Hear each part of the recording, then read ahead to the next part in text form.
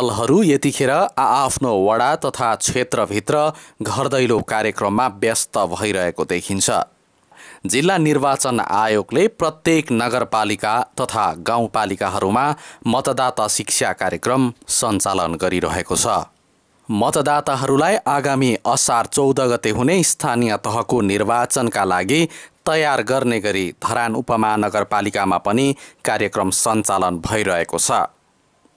मतदाता शिक्षा कार्यक्रम आगामी असार तेह्र गतेसम्म सञ्चालन हुनेछ। मतदाता शिक्षा कार्यकर्ताहरू धरानका बिसवटै वडाहरूमा घर घरमा गई स्थानीय बासिन्दाहरूलाई मतदानसँग सम्बन्धित शिक्षा प्रदान गरिरहेका छन्।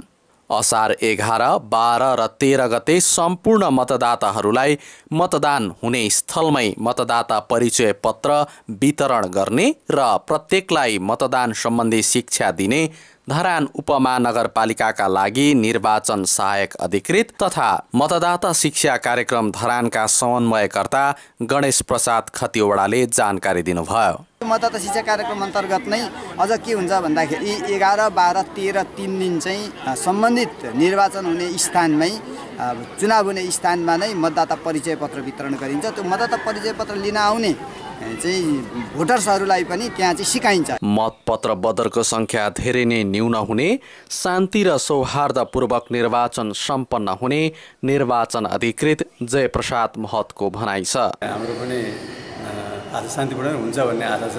र अहिलेसम्म त्यस्तो गतिविधि छैन। हामीले अस्ति एउटा सर्वदलीय मिटिङ पनि हामी बस्यौँ।